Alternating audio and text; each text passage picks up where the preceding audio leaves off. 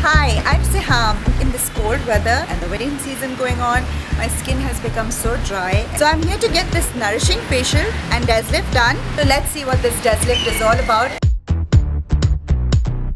I'm going for this luxury nourishing face mask which is the Tahiti Black Pearl mask.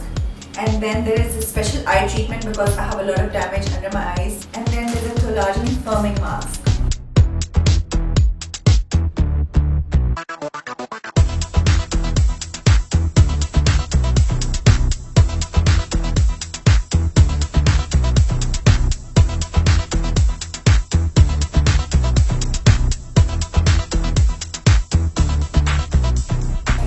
Definitely a difference. It's definitely lighter and more moisturized. That is exactly what I wanted. Okay, so now I'm all ready to paint the town red and go and finish the rest of this wedding season. Bye!